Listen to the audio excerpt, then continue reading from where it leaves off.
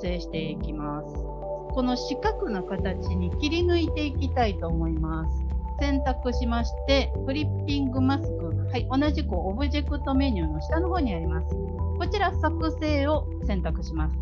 ちょっとやり残したところは、ここのですね、オンライン採用説明会、少し見やすくするために、緑色の枠線、枠線みたいなのをちょっと。え、ー、と、まあ、ドロップシャドウですので、少し右下にあのずらしたような形で影が伸びていきます。オフセットはもうほぼほぼもう0ぐらいにやってしまって、えーと、ぼかしをその分大きくしていきます。とデザインの、えーと、4大原則ありましたよね。とあと6つの要素っていうのがありましたけれども、オーソドックスな、まあ、構図の取り方としてはいろいろあるんですけれども、私の場合はですね、まずこの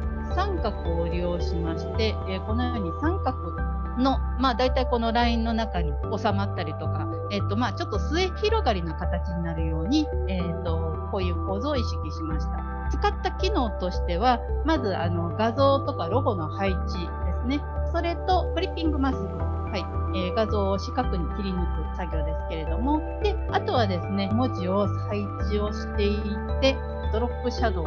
っていうのを最後